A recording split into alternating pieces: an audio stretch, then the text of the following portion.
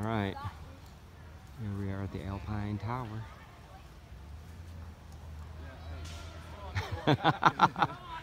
He's thinking about going the hard way or the easy way. Hard way or easy way, what you gonna do?